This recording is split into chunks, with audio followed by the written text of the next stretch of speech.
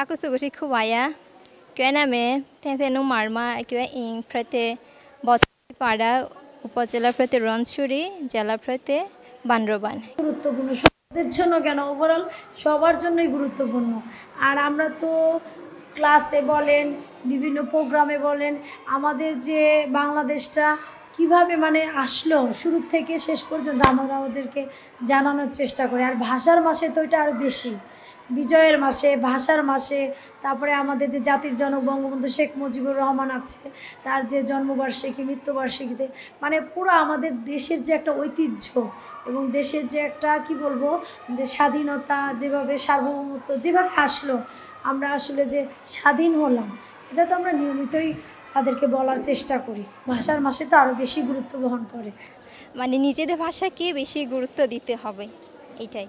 মানে নিজস্ব ভাষা, মাতৃভাষা যেটা। মানে আমাদের হচ্ছে ছোটোবেলা থেকেই যেটা এখন বর্তমানে হচ্ছে তো আমার যেটা মাতৃভাষা ওইটাই শিখাতে হবে যেন বাচ্চারা জানে বা লিখতে পারে বা পড়তে পারে সব নিয়ে। যারা হচ্ছে আমরা যদি যদি বাঙালিদের, ধরো বন্ধু বান্ধব আছে, ওনাদের সাথে আমরা বাংলা ভাষায় কথা বলি, আর মারমা বা আমাদের বাড়িতে ওইটা হচ্ছে আমরা নিজস্ব ভাষায় কথা বলি। আমি অবশ্যই বাংলায় কথা বলতে স্বাচ্ছন্দ্য বোধ করি।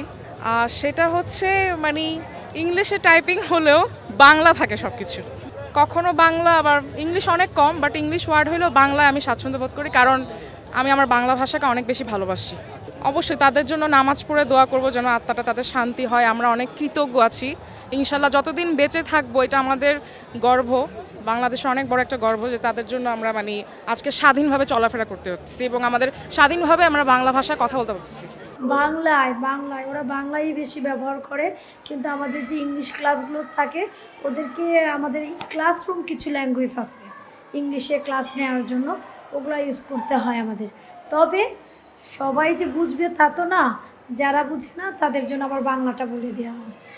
আমাদের একুশে ফেব্রুয়ারিতে তো আমরা সকালবেলায় দেখা যাচ্ছে যে আমরা বাচ্চা নিয়ে বিভিন্ন কালচারাল প্রোগ্রাম করব, বিভিন্ন প্রতিযোগিতা করব কুইজ বলেন, তারপর হচ্ছে ছবি, চিত্রাঙ্কন বলেন, তারপরে নাচ, গান, এগুলো তো থাকবেই।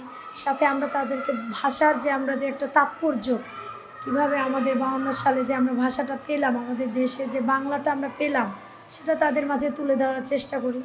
আমাদের কমিটি আছে, শিক্ষকরা আছে, আশেপাশে যারা আছে, যারা এই ভাষা বিষয়ে জানে, ঠিক আছে? তাদেরকেও আমরা আনার চেষ্টা করি। যেমন আমাদের যেমন ষোলোই ডিসেম্বর যখন হয়, বিজয়ের মাসে, আমরা কিন্তু একজন মুক্তিযোদ্ধা বা দুইজন মুক্তিযোদ্ধাকে আনার চেষ্টা করি।